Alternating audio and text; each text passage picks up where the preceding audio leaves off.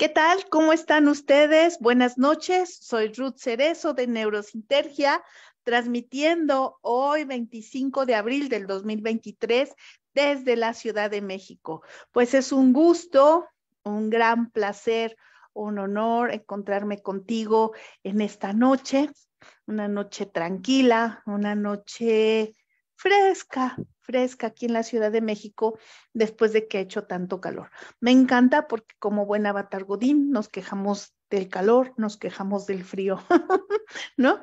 Y empezamos todos a bromear con que qué te gusta más, si el frío o el calor, ¿no? Y entonces, pues entonces empezamos con esta, estas discusiones bizarras que se nos antojan, ¿no? Para, para la sobremesa de algún lugar. Y bueno, pues eh, esta noche, pues eh, después de que la semana pasada no tuvimos neuroespacio, me fui de pinta. hoy, hoy estamos aquí con mucha más energía que nunca, con mucho más cariño, con mucho más afecto, pues saludándote desde este día, desde este hermoso día. Hoy eh, volveremos a trabajar sobre algunos temas del eh, estado sintérgico. Estaremos trabajando un tema que a mí me parece muy hermoso, me parece increíble, me parece, ah, digamos, de estas cosas que nosotros desde que éramos niñas, desde que éramos niños, sabíamos que podría ocurrir, que este tipo de cosas existían y que este tipo de cosas estaban ahí al alcance de nuestra mano. Me refiero justamente a los sistemas hipercámpicos, al hipercampo. Este término que se utiliza mucho en la teoría sintérgica, este término que justamente a nosotros nos llama mucho la atención, es un término que está muy relacionado con toda la parte de eh, este experimento tan icónico del doctor Greenberg, que es el potencial transferido en donde, bueno, pues nosotros estamos observando que existe una interacción entre dos personas. Eh, ya nos vamos reuniendo, nos vamos reuniendo en Facebook Live, me encanta. Déjenme saludar, saludar a todas mis amigas y amigos que se reúnen en esta noche. Saludo a mi querida Laura. ¿Cómo estás, Laura? ¿Cómo te va? A Milagros, ¿cómo estás, Milagros? A Gabriel, a Aide, que me dice que me veo muy guapa. ¿Qué te tomas, ahí? a Miguel, que saluda al grupo, a Martín, ¿cómo están? ¿Cómo están todas y todos ustedes en esta noche tan hermosa? Entonces, bueno, ¿a qué viene que hoy toquemos la parte de sistemas hipercámpicos? Pues básicamente viene justamente porque eh, la próxima semana, no, no, de este fin de semana que viene al otro, al otro. ¿Qué creen? El 13 de mayo vamos a tener nuestro primer curso de sistemas hipercámpicos. ¿Se acuerdan que en los otros dos anteriores estuve justamente hablando de eh, lo que era el liderazgo de conciencia y tuvimos nuestros cursos sobre liderazgo de conciencia, que dicho sea de paso, fueron increíbles, estuvieron muy buenos. Bueno, ¿qué te puedo decir? Yo soy la mamá del curso. Nadie habla mal de sus hijitos. O sea, yo soy la mamá del curso. y eh, próximamente se viene justamente este curso de sistemas hipercápicos. Pero bueno, para poder saber a qué se refiere, qué se va a dar ahí, qué vamos a hacer ahí, pues necesitamos platicar justamente de qué es. ¿No crees? Entonces, digamos que en esta parte, pues vamos a platicar eh, justamente de eh, lo que es, para qué sirve, con qué se come, ¿no? Y todo este tipo de cosas que nos encantan hacer. Sistemas hipercámpicos. Viene. Dentro de teoría sintérgica, además de que nos habla justamente de que nuestro campo neuronal es el resultante de todo el trabajo de nuestras neuronas, eh, que este campo neuronal se conecta con algo que se llama el campo sintérgico, que el campo sintérgico es lo que se denomina el campo cuántico, y que en esta interacción con el campo sintérgico nosotros podemos tener experiencias increíbles, experiencias fuertes, experiencias donde vemos muchas cosas. Em, ¿A qué me refiero con ver muchas cosas? No alucinar, no a visualizar. Vemos, observamos, pero ¿con qué crees? Con la parte de nuestra facultad y nuestra habilidad de experimentar, de experienciar, por decirlo de alguna manera.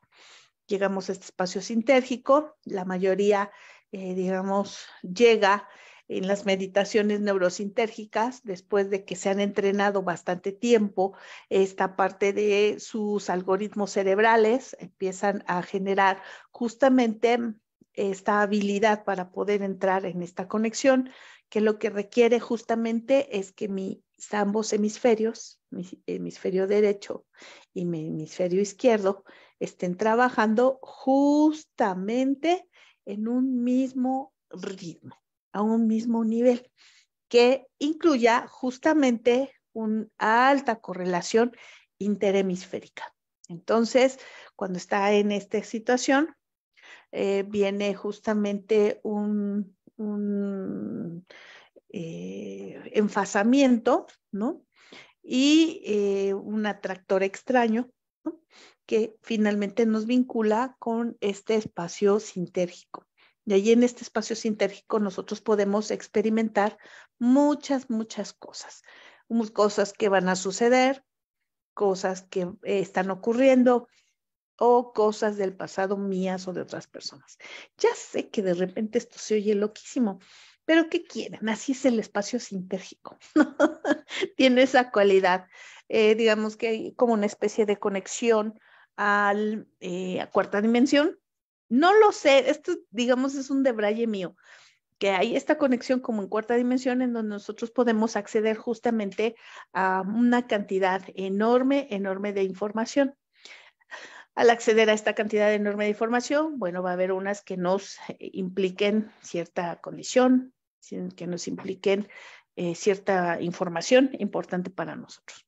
Cuando nosotros entramos a estado de certeza, lo que nosotros hacemos es abstraer la información más significativa de este campo para que nosotros podamos eh, finalmente eh, tener eh, datos, experiencias en formas, datos en formas de experiencias, información en forma de experiencias que nos pueden servir justamente para nuestra vida, nuestra vida cotidiana, para lo que hacemos, para lo que nos desarrollamos y todo lo demás.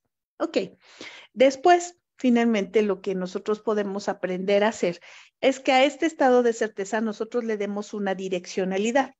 ¿Qué significa darle una direccionalidad? Bueno, que si por ejemplo yo en estado de certeza quiero, por ejemplo, conocer, no sé, em, los sentimientos de otra persona, ¿no? Que está vinculada a mí, no es cualquier persona, o sea, cualquier persona no, es una persona que esté vinculada a mí, entro en este estado de conexión y ya lo hago. Cuando no estamos más que en un estado de certeza, esto es como muy lúdico y puedes caer en cualquier punto del espacio para abstraer cualquier cantidad de información. Pero cuando estás en direccionalidad, que es uno de los elementos que nuestro procesador central, alias nuestro Pepe Grillo, nuestro sistema inconsciente, eh, como le quieras llamar, el timón que tienes allá adentro que concentra la conciencia y el yo, ¿no?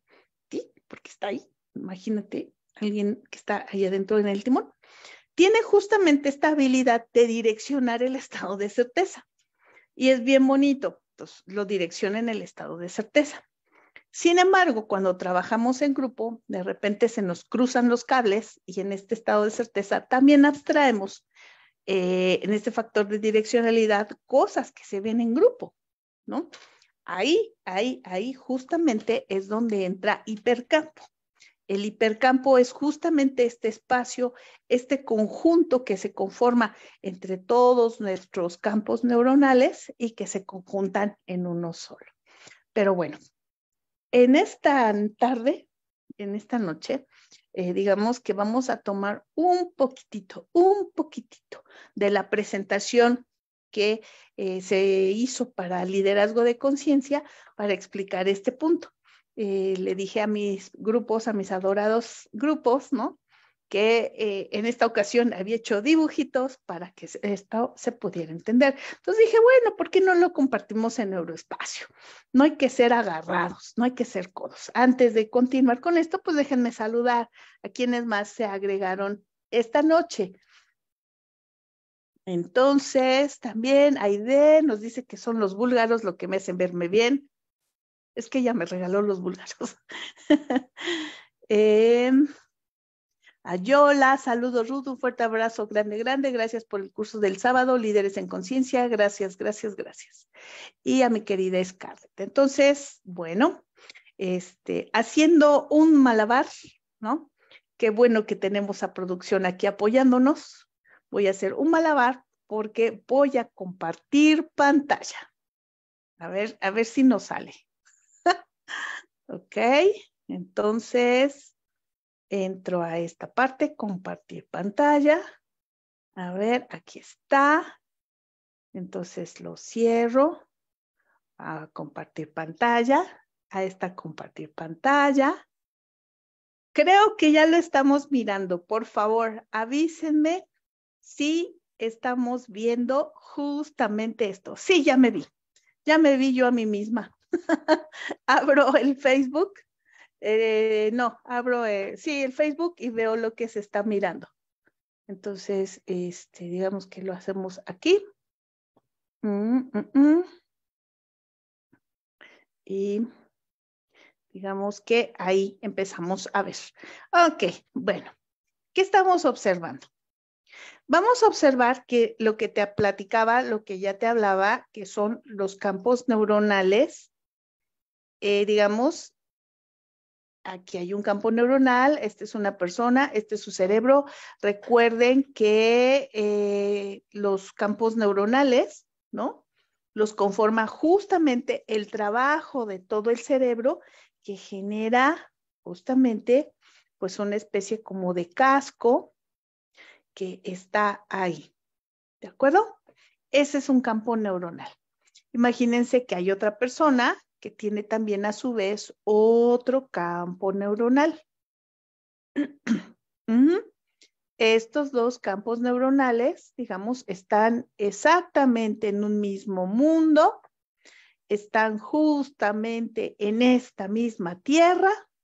Imagínense que están todos en el mercado de Xochimilco, pero no se conocen. Entonces, la persona que va ahí trae su campo neuronal, la otra persona que trae ahí trae su propio campo neuronal y no hay interacción entre esos campos neuronales. Aquí metí el dato del campo sintérgico porque es justamente lo que nos abarca y lo que está ahí. ¿De acuerdo? Bueno, si tienen dudas, por favor, escríbanlo, escríbanlo en el chat del Facebook y podemos ir contestando. no hay interacción. Por eso aquí dice campos neuronales sin interacción. Sin embargo, cuando de repente hay un proceso de atención entre una persona y otra persona que voltean a verse, ¿no? Imagínense, estaban así, ahora están así, entran en un proceso de atención. Esto es como existe una relación. ¿Se acuerdan que entre partículas elementales, cuando éstas interactúan, se genera un mismo campo? Imagínense que esto actúa de una forma semejante. Entonces, están los campos. Este en amarillo es un campo neuronal, este en amarillo es otro campo neuronal, ¿no? Y están en interacción, que es esta parte amarilla, que es donde están en comunicación.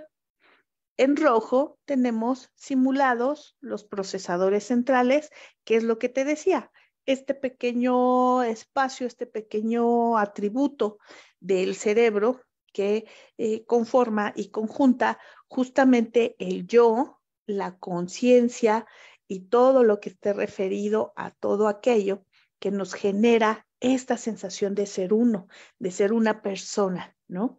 Esta unicidad, por llamarlo de alguna manera. Estos dos eh, procesadores centrales lo que hacen es entran en interacción y van abstrayendo información que es relevante e importante para nosotros. En esta parte de saber lo que es importante y relevante para nosotros, entran justamente en este proceso de direccionalidad. O sea, se direcciona uno a uno y entran en contacto. En algunas ocasiones tú me has preguntado por qué en meditación de repente obtienes o abstraes eh, información de otra persona, ah, te vinculas a sus sentimientos, te vinculas a sus emociones, ¿no? Y yo lo que te puedo decir es porque entran justamente en interacción justamente los procesadores centrales. Y al entrar en interacción y tener esta direccionalidad, o sea, no se dirigen a cualquier zona del espacio, sino a uno a uno a la persona, entran justamente en todo este proceso. Sí, dice Carla del Río. Hola, ruta, este procesador central donde está el yo, el ser, no es físico, ¿verdad? No, lo hacen como un, precisamente como una propiedad emergente, lo, denomina, digamos, teoría sintérgica como una eh, propiedad emergente. Sin embargo, a mí me gusta pensar que es la opinión. Pero digamos que ese es otro de Braille mío, digamos, en la parte de la investigación, justamente lo que nos dice es que es un factor emergente, no le da, digamos, un espacio físico, un asiento físico propio de todo esto, sino es justamente el resumen y abarcar el, el todo. Ok. Ahora, justo llegamos al punto. El hipercampo. Están las diferentes personas. Imagínense que es tu grupo de meditación neurosintérgica, ¿no? Aquí está Carla, aquí está José, aquí está Yola, ¿no? Aquí está Aide, bueno, todas. y a la hora que entramos justamente en la meditación, entramos justamente en esta parte de voltear nuestra atención que estaba en otros eh, lados, en otros momentos, la conjuntamos y volteamos a vernos a nosotros entre nosotros mismos. Si se dan cuenta, esto que está en amarillo son los campos neuronales que se conjuntaron, ¿ya? Dado la cohesión que genera la atención estar en ese grupo y que justamente conforman un campo, eh, un hipercampo. Yo le, le, denominé aquí el campo hipersintérgico con respecto al campo sintérgico, porque en este campo que se genera a través de este hipercampo, eh, lo que nosotros vamos a tener es justamente un proceso de interacción. ¿De acuerdo? Entonces, eh, digamos que en esta parte, en este proceso donde nosotros estamos eh, desarrollándonos, en donde nosotros estamos viviendo, en donde eh, nosotros estamos perviviendo, pues estamos en interacción con otras personas, estamos en relación a otras personas.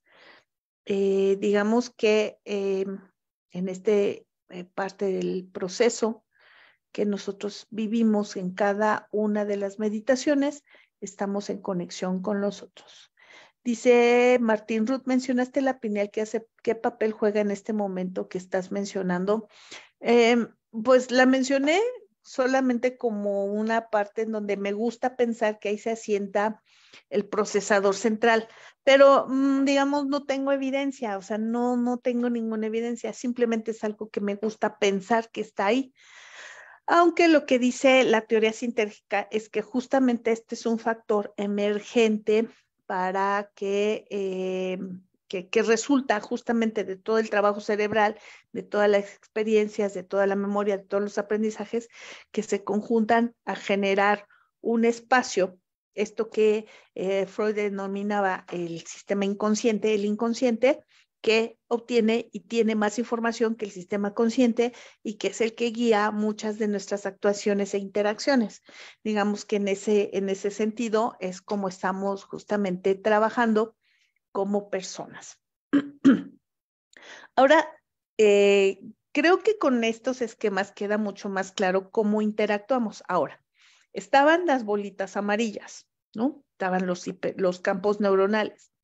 Pero imagínate que este campo neuronal, no siendo un fenómeno local, sino siendo un fenómeno no local, no tiene un proceso de distancia como nosotros lo conocemos.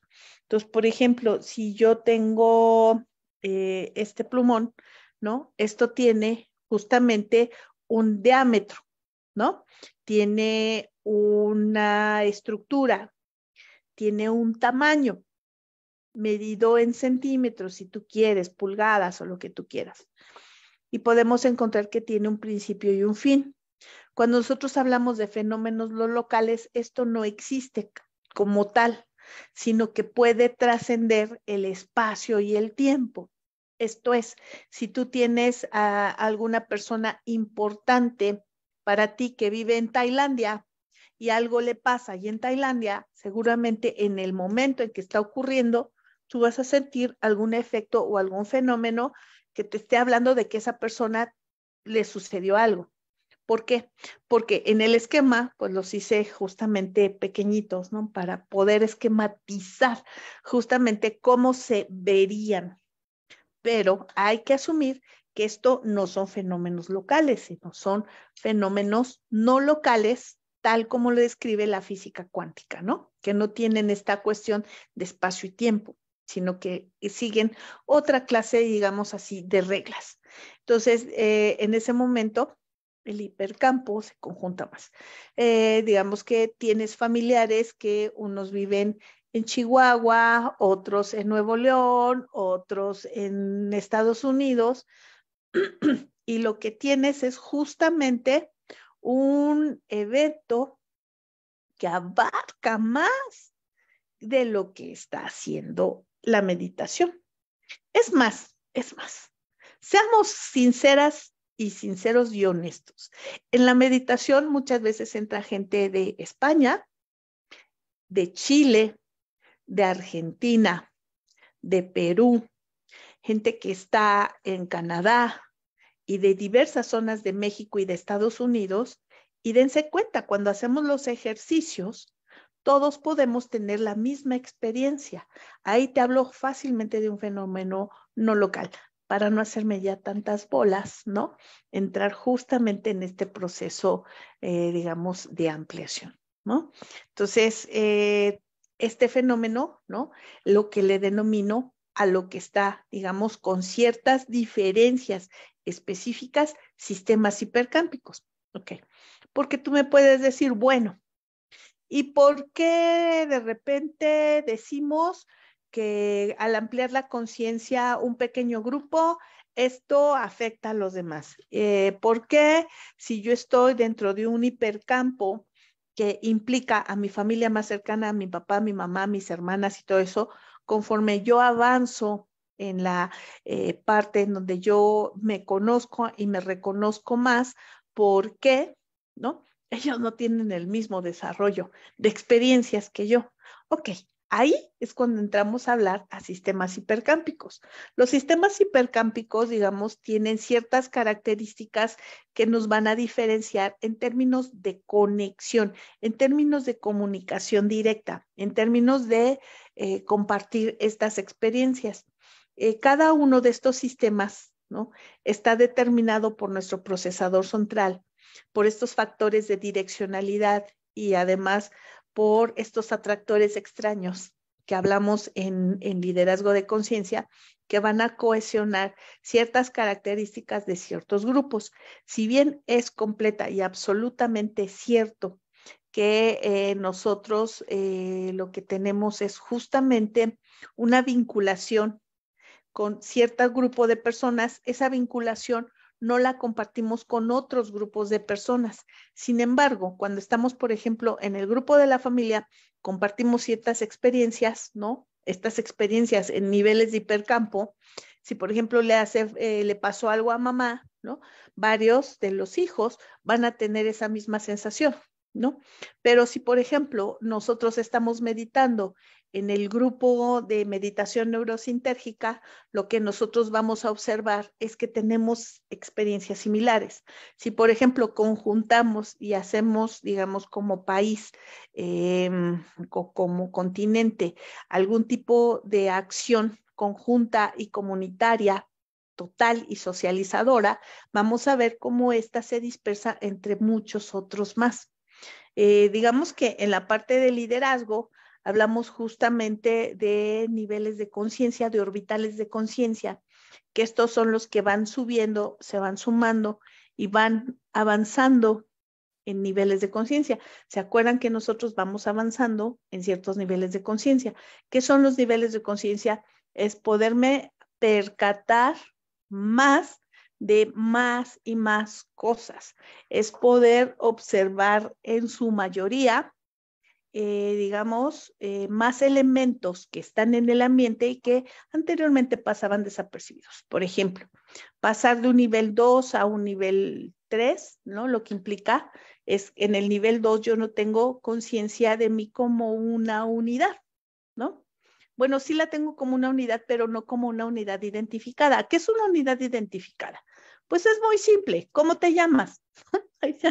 Tienes una unidad identificada. Sabes que eres semejante a otros que se parecen a ti morfológicamente, pero que son diferentes. En un siguiente nivel, te reconoces a ti, reconoces a los otros, pero reconoces que tiene ciertas cualidades, ¿no? Particulares en un siguiente nivel te reconoces a ti, reconoces a los otros, reconoces tus eh, características particulares, pero además ya reconoces la de los otros, ¿no? Entrando en procesos de comparación. En el siguiente nivel de orbital de conciencia, de ampliación de la conciencia, digamos, de expansión de la conciencia, te reconoces a ti, a tus características, reconoces al otro a sus características, pero ya no entras en un proceso de comparación, simplemente respetas esas diferencias y actúas sobre las tuyas. Y así vas ascendiendo. Digamos, en liderazgo de conciencia lo que vimos fue justamente que eh, para que un líder de conciencia pueda tener efecto en un cierto grupo, debe tener el mismo nivel de conciencia o un poco más abajo, además de compartir ciertas características que van a abstraer y van a atraer justamente los campos neuronales de esas personas. En un líder de conciencia lo que vimos es que este líder, ¿no? Va a coordinar, dominar, manejar otros campos neuronales. Hicimos justamente también la eh, concepción de guía de conciencia, que guía de conciencia con SC es aquella persona que a través de su liderazgo, a través de esta guía, ¿no? Va a apoyar a otras personas en ascender, desarrollar, desbloquear, aprender, obtener, etcétera, otras cosas que no ha podido hacer y que dentro de este proceso pues va a poder generar un cambio. ¿De acuerdo? Entonces, eh, digamos que hasta ahí vamos. Entonces, ¿qué vamos a ver justamente con eh, además viene el segundo programa.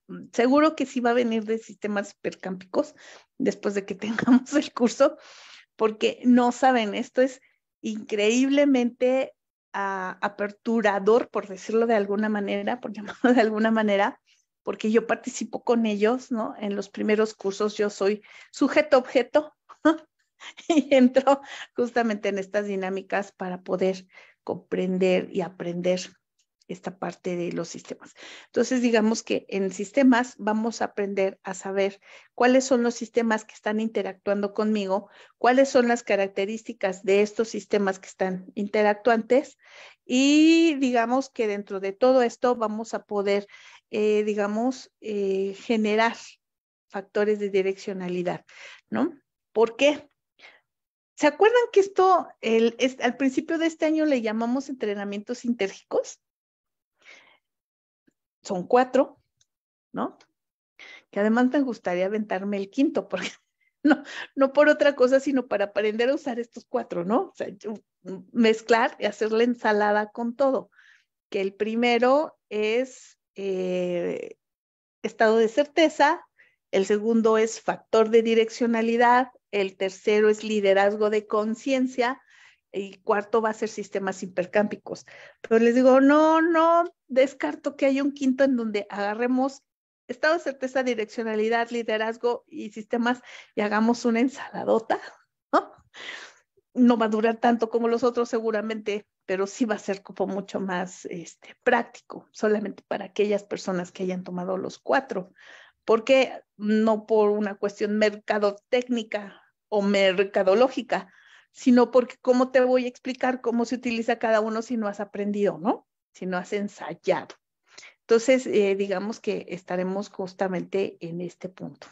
Entonces, eh, voy a, mandar saludos. Por favor, mándame tus preguntas. pregúntame ahorita. Aprovecha este hermoso espacio. Entonces, eh, saludamos a Martín, saludamos a Daniel, a José Gabriel, qué hermoso proceso, dice José Gabriel, a Lida Liz o a Mari Matos, buenas noches, saludos desde Huancayo, Perú. No, pues genial, uno de los hermosos países que tenemos en este continente es Perú. Esperamos ir muy, muy pronto. Muy bien, entonces dentro de este proceso, pues sistemas hipercámpicos se basa justamente en esta terminología de hipercampo. Y bueno, saludamos a Mario que ya llegó. Hola Mario. Mañana vamos a andar de aquel lado del universo. Bueno, en un estado cercano a Mario. Y salúdame a Gaby. Este, bueno, pues si no tienen ninguna pregunta, ¿qué les digo? ¿Qué les, ¿Qué les platico? ¿Qué les cuento? ¿No? Manden preguntas, ¿verdad? O sea, ¿qué ocurriría si, por ejemplo, yo estando aquí eh, envío una información o cómo puedo hacerle para que mi familia también tenga el mismo nivel de ampliación de conciencia? No sé, pregunta cualquier cosa. Pregunta cualquier cosa porque si no yo ya acabé, ya me acabé la presentación, ya me acabé todo. Acuérdense que siempre conversamos y conversamos bien rico, pero digamos, eso, es, esta segunda parte del programa la haces tú. Ok, entonces digamos, dentro de estos sistemas también puede haber sistemas interactuantes. Esto es sistemas que en combinación entre ellos, ¿no? Generan hipersistemas. ¿Qué son los hipersistemas? Los hipersistemas son eh, digamos, sistemas hipercámpicos de correlación y de comunicación directa y humana, que lo que hacen es potenciar algo. ¿Tú alguna vez has preguntado que cómo le hacemos para eh, entrar en este proceso de comunicación con los otros para poder expandir la conciencia? Ok, parte de esta expansión de la conciencia implica justamente la unificación y la potenciación de más sistemas hipercámpicos para que esto se conjunte y se vuelva mucho más global. Eh, ¿Se acuerdan cuando nos juntamos con la gente de Pulso, cuando nos juntamos con la gente de UNALOM, con los chicos de la física del pensamiento? O sea, generamos otros sistemas y entre todos estos sistemas empezamos a generar uno, independientemente de que todos estemos trabajando en áreas y conceptos diferentes. Nos dice Ana, Ruth, el hipercampo también puede ser entre humanos y mascotas. Ah, qué buenísima, buenísima pregunta, Ana. Sí, puede haber este sistema hipercámpico entre eh, personas, entre animales, ¿no?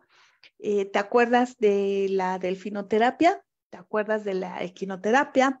Ok, eso lo que se estuvo observando es que se conforma un sistema entre el delfín y la persona, entre el caballo y la persona, y que generalmente justamente le ayuda a desarrollar eh, esta parte de mm, estimular ciertas áreas cerebrales que requieren ser estimuladas para poder resolver algunos problemas.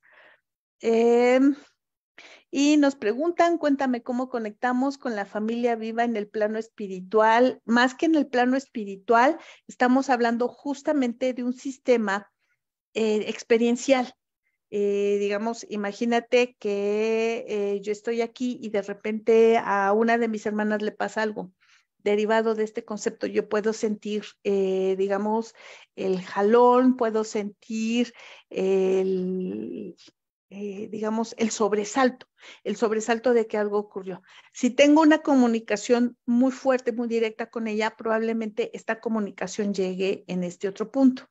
Y para la comunicación entre planos espirituales, no, bueno, yo les recomiendo muchísimo, muchísimo, muchísimo a Joaquín Cámara.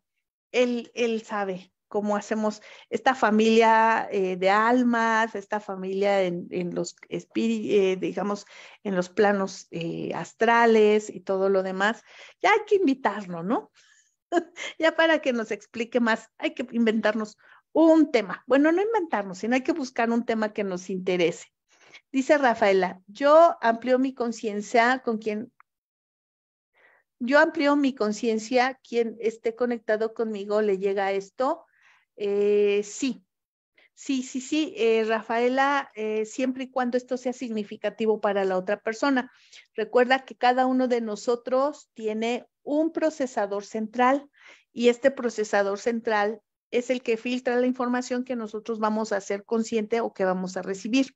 De acuerdo a los experimentos de potencial transferido, el cerebro de la otra persona que estuvo en interacción recibe todo, pero la persona que está recibiendo no siempre es consciente de lo que está recibiendo.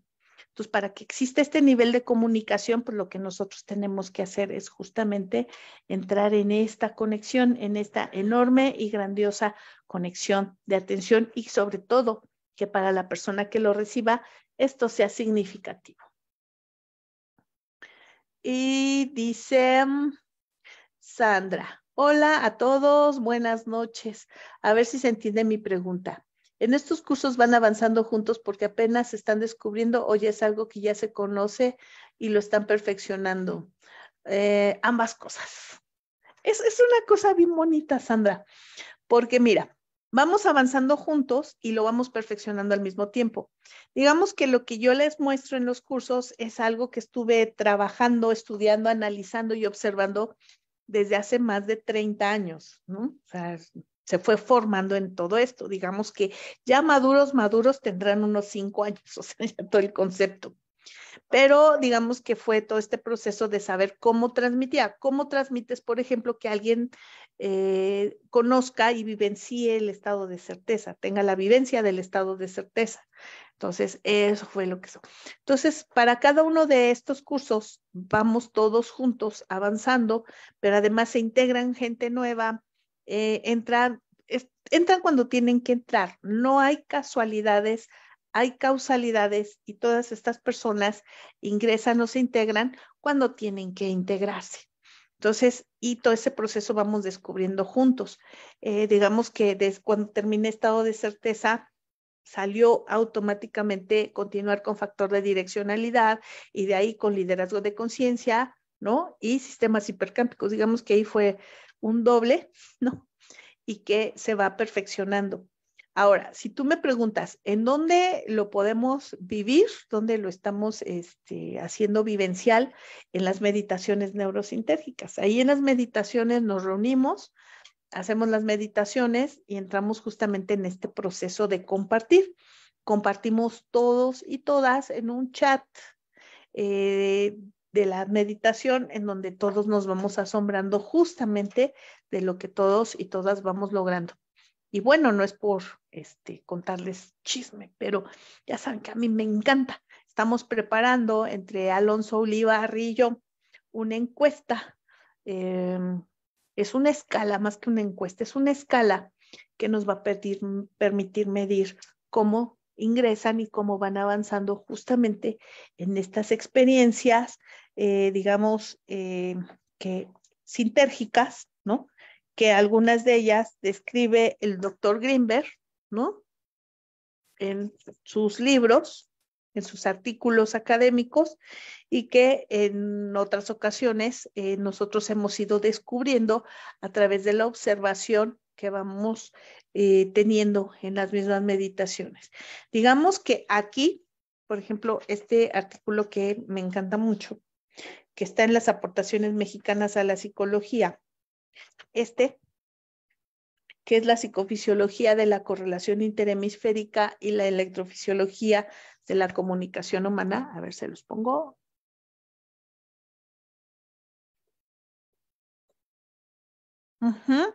Este fue un artículo que se editó en el 98, cuatro años después de que el doctor se desapareciera. Es un, es un texto increíble porque resume justamente toda la parte experimental.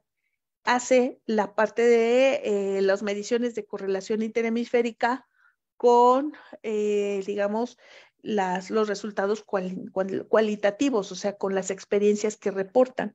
Y entonces digamos que tiene aquí la tablita en donde viene justamente la parte de la correlación interhemisférica, que es cómo trabaja hemisferio derecho y cómo trabaja hemisferio izquierdo, y los reportes que las personas hacen.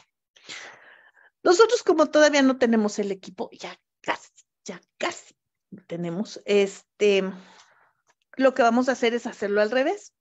Vamos a tomar justamente los resultados cualitativos, ¿no? Que están aquí definidos junto con otros más y los vamos a hacer justamente en esta trazabilidad de información y de resultados, a asumir que cuando presentes esto, tu correlación interhemisférica ha, subido y ha ascendido lo suficiente como para poder estar en contacto con la experiencia sintérgica.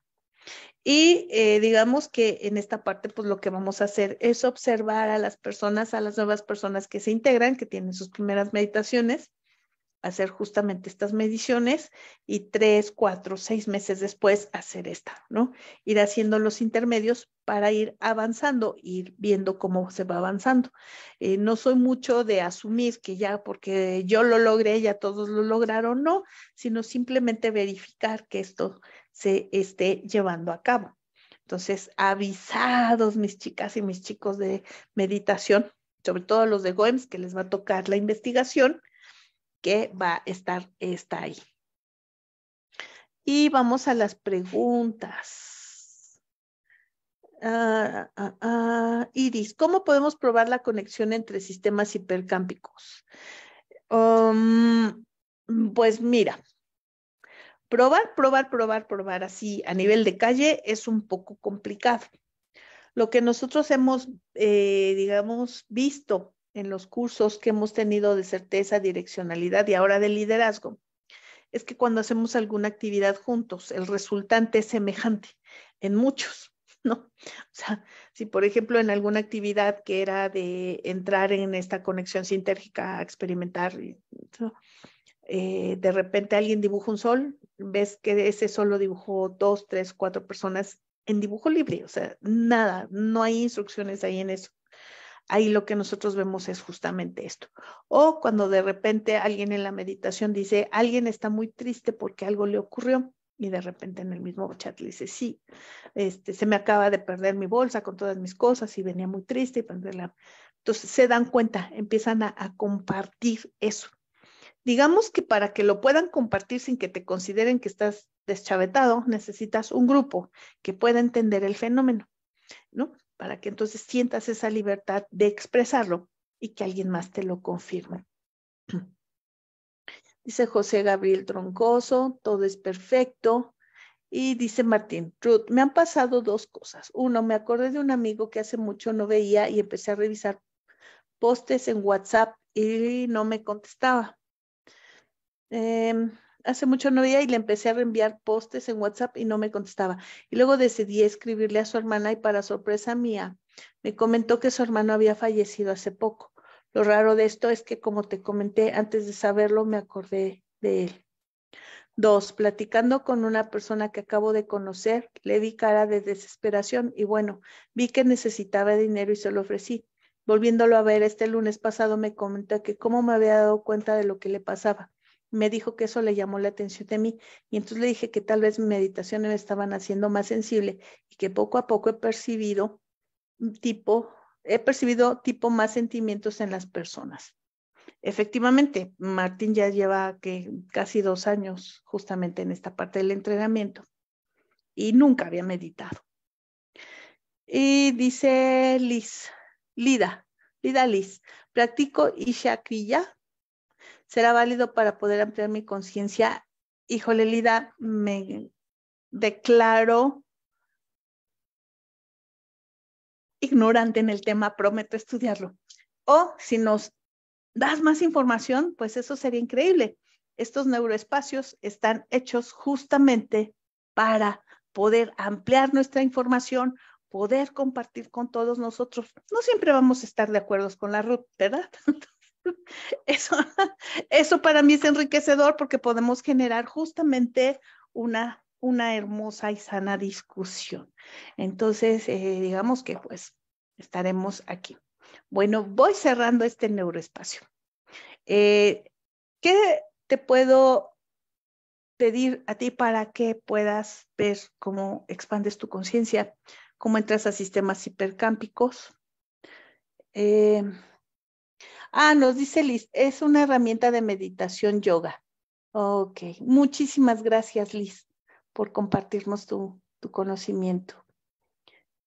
Espero que algún día en un momento determinado, si eres experta en esto, nos puedas compartir en un neuroespacio, te entrevistamos ya tenemos toda la información de ahí. Acuérdense que eh, no está peleado con absolutamente nada. Todos somos parte de un mismo todo y todos somos parte justamente de este proceso de expansión y evolución de la conciencia.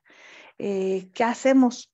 El ejercicio que te iba a decir que podemos hacer es entra en silencio, obsérvate no es pensar por pensar en las personas que amas, no, es simplemente quedar en silencio para observar quién llega a tu mente, no a tu memoria, no a tu pensamiento, a tu mente. Y entonces en esa persona, ¿no?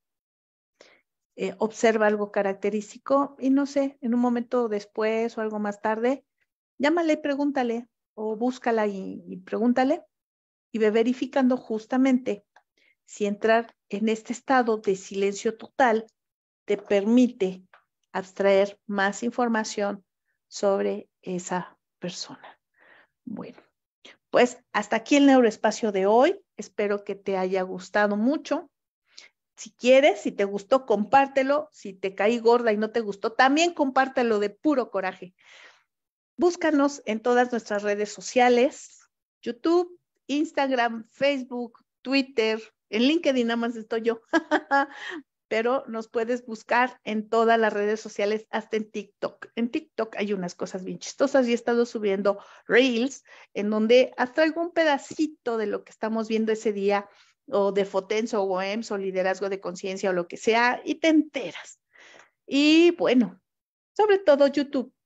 Este, este, este neuroespacio quedará grabado en YouTube, YouTube Neurosintergia.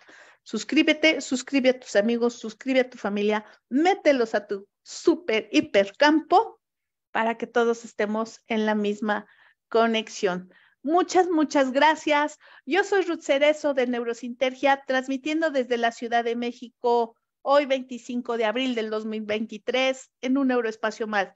Nos vemos el siguiente martes. Prometido. Abracitos. Bye bye.